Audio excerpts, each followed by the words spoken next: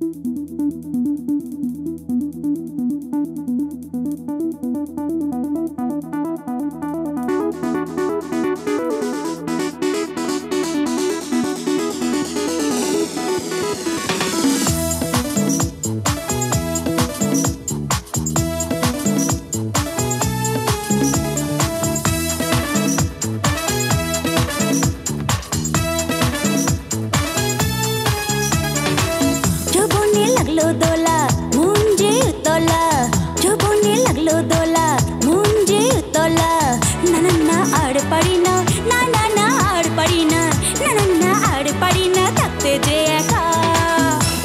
tiếng lạc lừa tôi